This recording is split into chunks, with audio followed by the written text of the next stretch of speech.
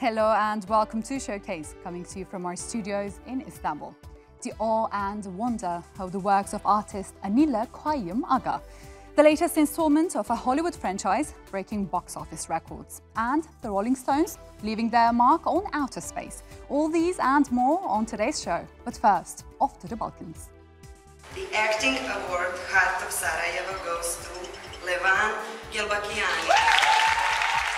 We'll bring you our own review of the 25th edition of the Sarajevo Film Festival.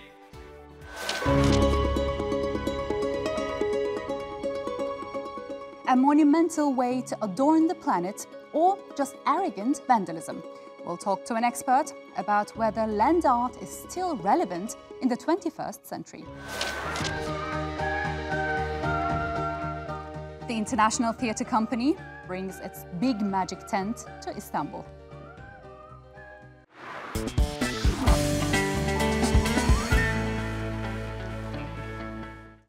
The zenith of the 25th Sarajevo Film Festival, which has been in full swing in the Bosnian capital for the past week, was reached with the handing out of the Heart of Sarajevo Awards.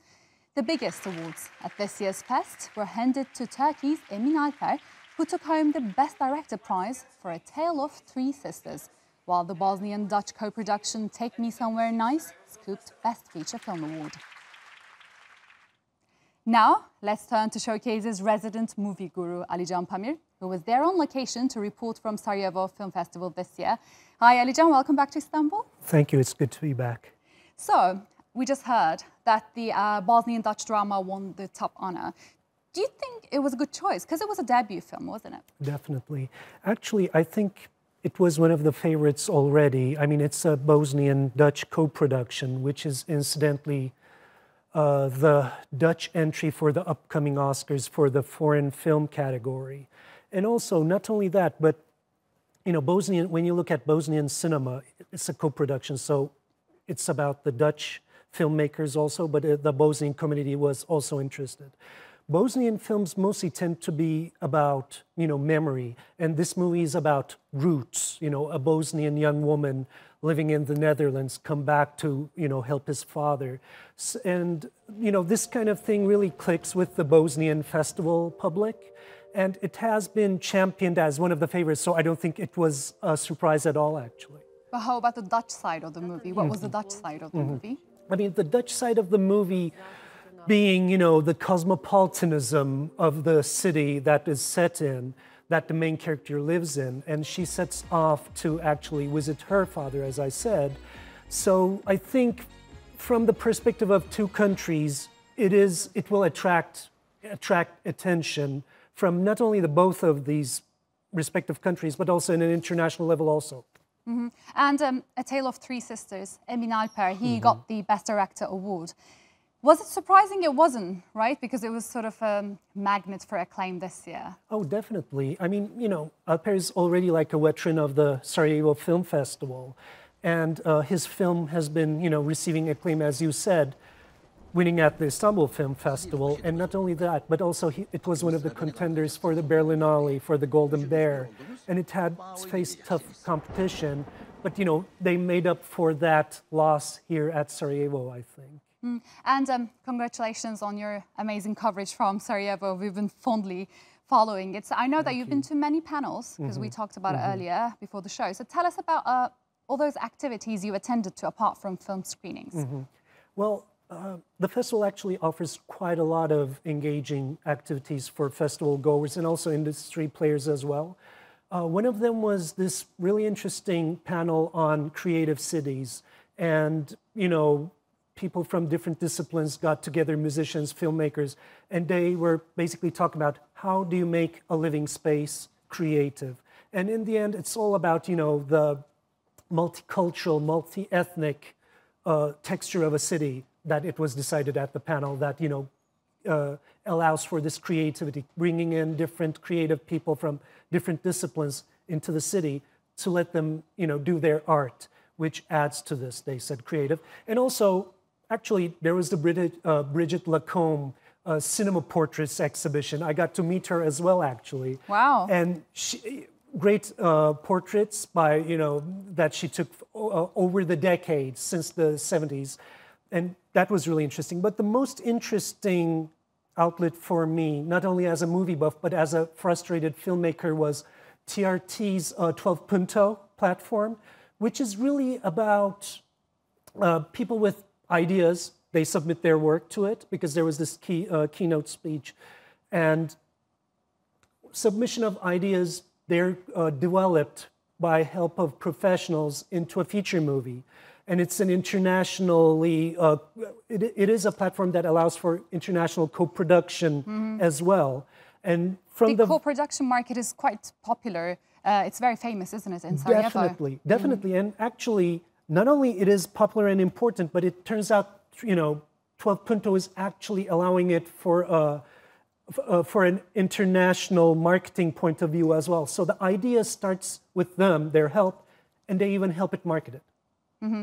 And TRT mm-hmm. is a mm-hmm. festival partner. Mm-hmm. What exactly does that mean, Alican? What were they doing there, or what were we doing there? Yeah, yeah. No, actually, not only as a movie buff, but also like as a member of the TRT family, I couldn't have been more proud. Like, you know, since I was 14, I was hoping that TRT would reach this kind of, you know, level as far as movie uh, culture is concerned. At the moment, I think we're one of the most, you know, uh, engaging movie uh, culture promoting company, so to speak. And not only the 12 Punto, but also we're one of the uh, sponsors, as you said, and we're uh, giving them great support, which I think is really important, and they appreciate it. And also, not only that, but like um, especially TRT World Citizens, uh, short films were also internationally debuting there, which this year's theme was the women of war, which I think is a really important subject, you know, how women are affected by war and conflict.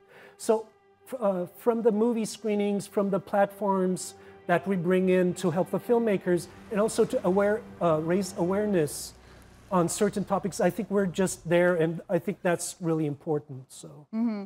and um, quickly before we wrap up, mm-hmm.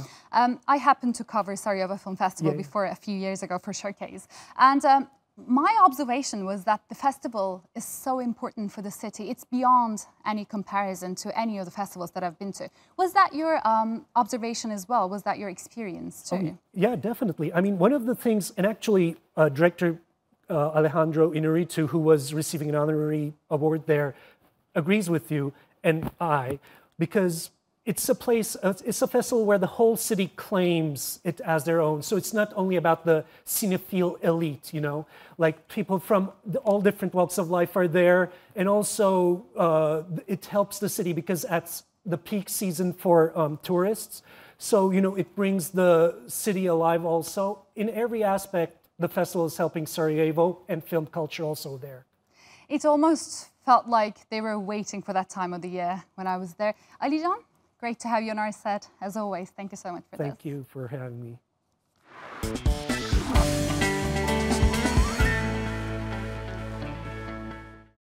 Dazzling, spectacular, and mind blowing. The famous Cirque du Soleil is back in Turkey with its extraordinary trapeze shows, magic fire productions, and performances that push the boundaries of what humans can do. We sent Adil Halim to find out what audiences can expect from their latest Indian-inspired production. Zeph Gonzalez is getting ready for the show, a Cirque du Soleil production, something the young acrobat never could have imagined. I was always uh, afraid of like stages and being like the center of attention growing up. And when I started doing my first shows and started doing slackline at the parks and people would watch, I realized how much I enjoy like when you finish and a whole group of people are watching and everybody just starts cheering, it's like, okay, wow, you you really see the change that you make in other people's lives, and I think that's an amazing thing that any artist here will tell you. We live for that moment when the crowd gives you something that you just can't experience anywhere else.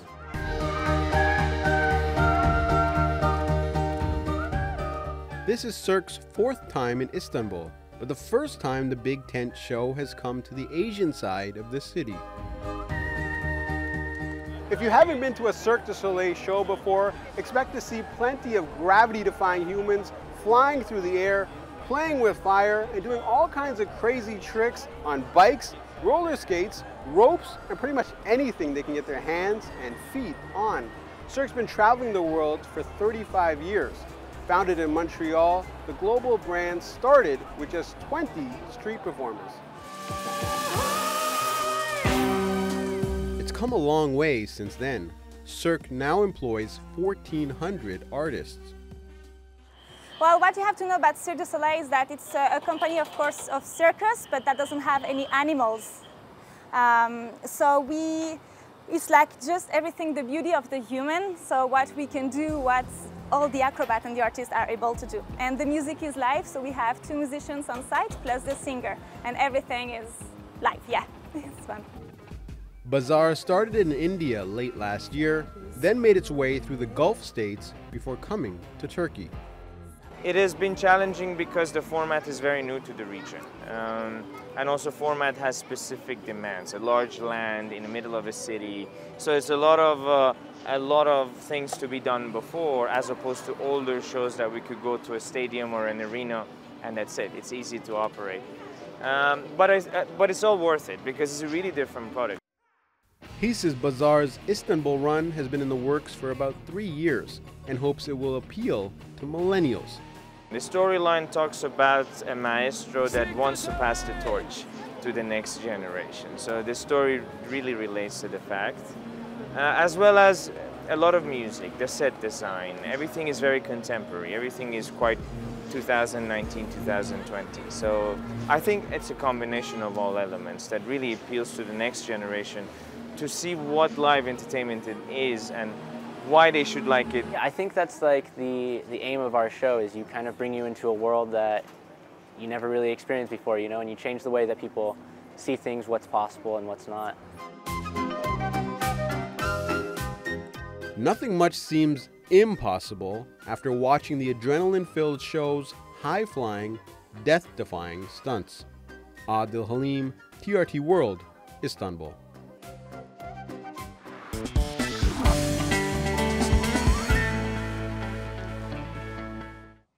Still to come on Showcase.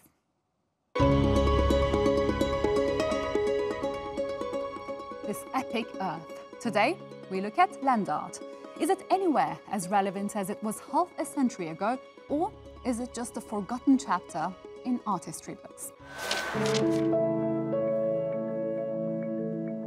The magic of shapes, light, and reflections. We take a look at one artist's enchanting installations. And the first teaser is out from Turkey's entry for the Best International Feature Film in the 92nd Academy Awards. And now for a quick look at some of the stories from the world of the arts and culture.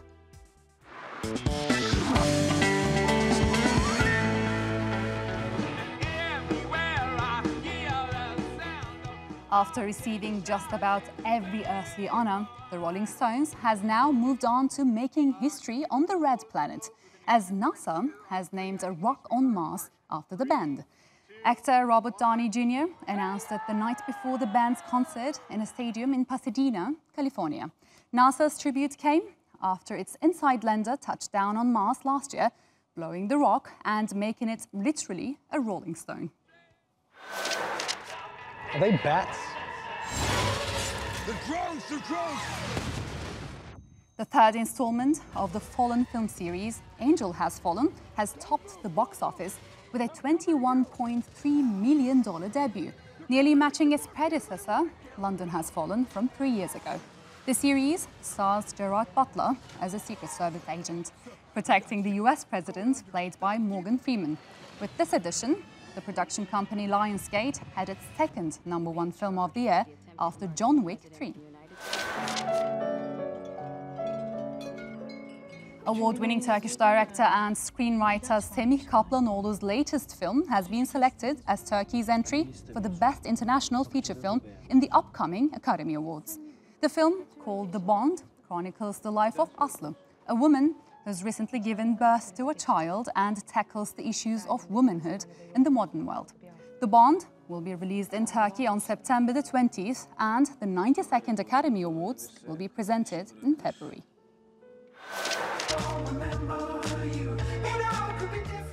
A new Breaking Bad movie is coming to Netflix nearly six years after more than 10 million Americans tuned in to the legendary show's finale.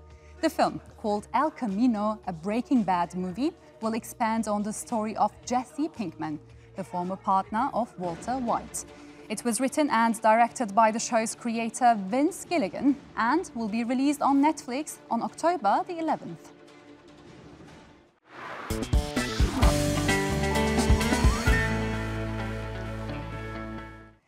In the 1960s, the American art world was getting more and more commercialized. But at the same time, there was a rising trend towards environmentalism across the country.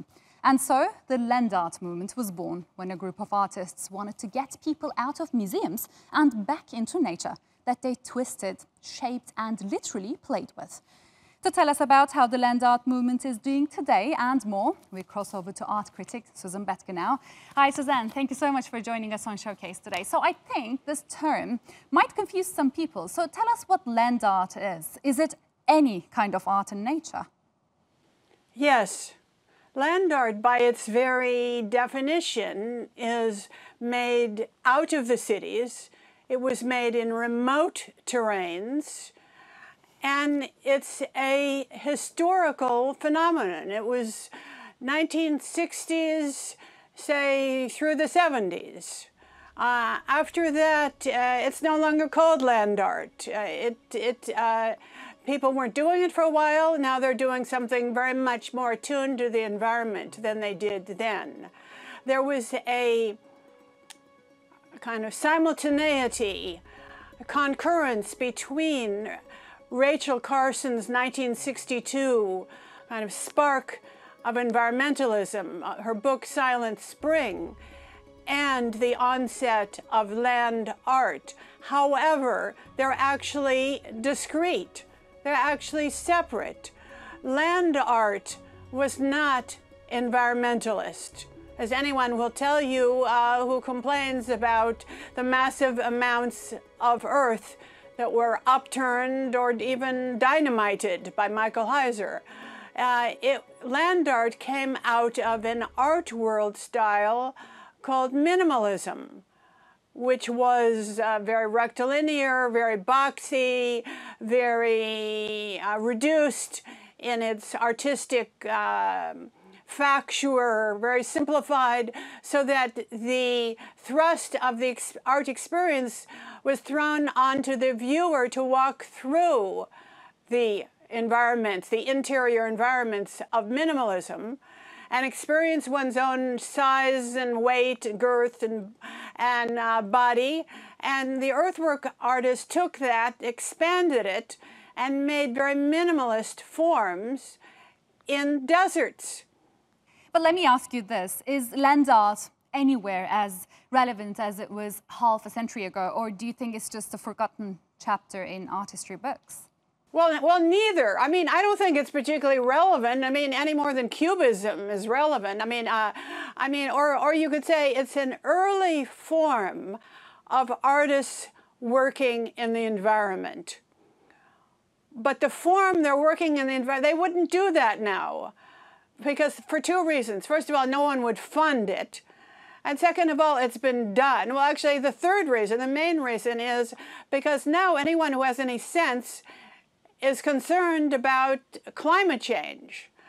And they're making art, if they make it in nature, to say, reclaim destroyed sites, or clean water, or clean air uh, they're making works that have a more uh, environmentalist positive uh, intention, as you'd say. Whereas there, it was very much about cowboy bravado, making, making big works to show how masculine and strong they were. And, uh, and people just, the, the, the ideas of uh, art and of gender have changed. So it's interesting as a historical phenomenon. Now, on the other hand, we could say, why do people still come, still come to still visit the spiral jetty, mm -hmm. which is the picture behind me, the uh, the Robert Smithson gigantic earthwork, which is 1,500 feet long and 15 feet wide, made uh, over a month or so in um, uh, Utah and the Great Salt Lake. It's very famous. It's, People one, it's still go the pivotal work, isn't it? But Suzaan, one more question before we run out Yeah, of uh, time about that and about a lot of land Yeah. art, land art works. Uh, some people call land art like arrogant vandalism. What do you say to them very quickly before we wrap up? I would say yes, it was. I mean, sometimes it was. Michael Heizer, you know, he said he loves to be in that unraped, uh, you know, pure desert, and then he dynamited 240,000 tons. You know, yes, it was. But Well, that this was, great, we had a different orient, orientation toward nature then than we do now. Suzaan, this is great, very I mean, informative, very amazing interview, but unfortunately we've run out of time. Thank you so much for your time. Okay, or thank you. Okay.